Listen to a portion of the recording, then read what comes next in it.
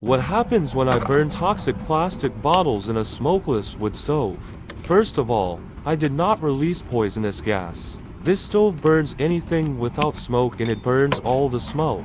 See no, no smoke at all.